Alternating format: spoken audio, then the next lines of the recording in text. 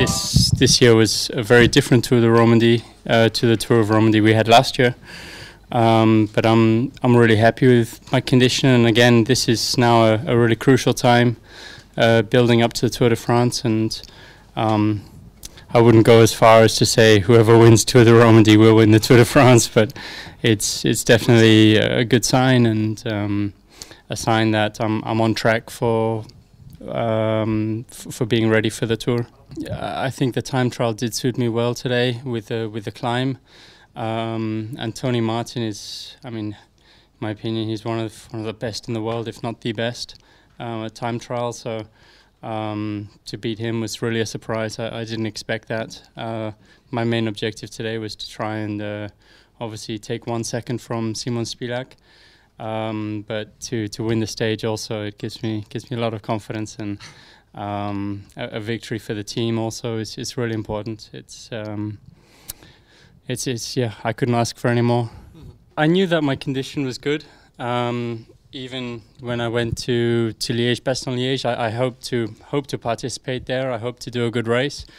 Um, but when when I saw the team doctor, he said, "Okay, listen, it's it's best you don't ride today, and Tour of Romandie is a bigger um, uh, objective for you, so better you take it a little bit easy." I mean, I'm I'm still coughing at the moment. I'm still not 100% with my chest, um, but I hope in these next few days I'll be able to take some time off and uh, recover recover properly. I think this this next block coming up now will be really important uh, before the Tour de Dauphiné uh, Criterium Dauphiné, sorry. Um, it's uh, we're just under two months now from from the start of the tour.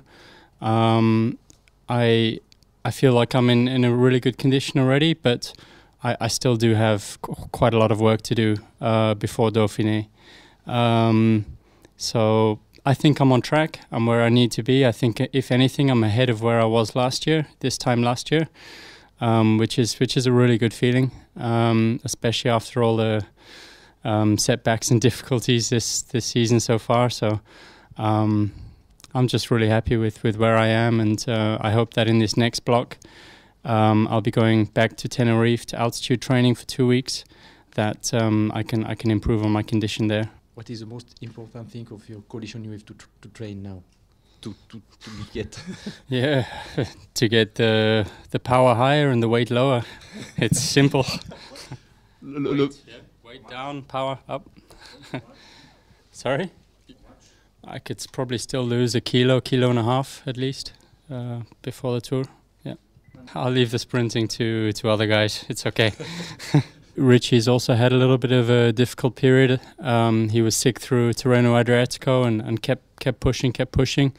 Um, I think he's definitely got also a lot of work to do, um, but his his motivation is high, his spirits are high, and he'll he'll be joining us again up in Tenerife, um, which which I hope will will bring him up. Um, but I mean, on another note, the my other teammates, uh, my teammates who were with me this this week in Romandy, it's really encouraging signs to see how strong they were going in the climbs. And um, I don't think there was any moment in the race I was isolated or anything. So um, a big thank you to my teammates. And um, yeah, I'm really happy with, with the signs. My problem with my lower back is something I'm still working on.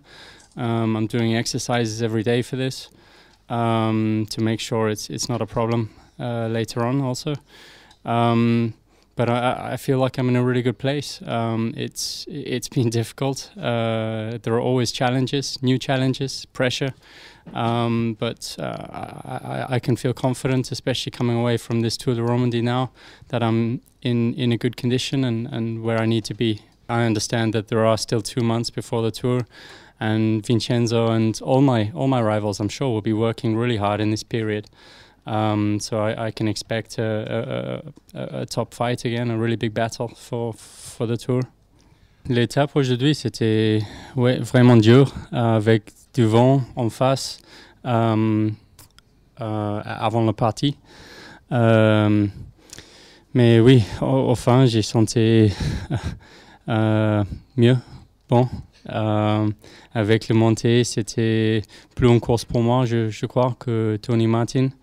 Euh, mais oui, au fin des jours, je suis très heureux avec, euh, avec la victoire.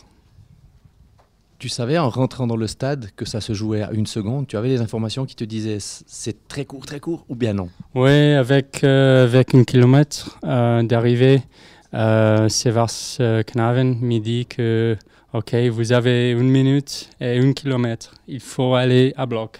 Il faut faire le maximum. Et, et j'étais déjà euh.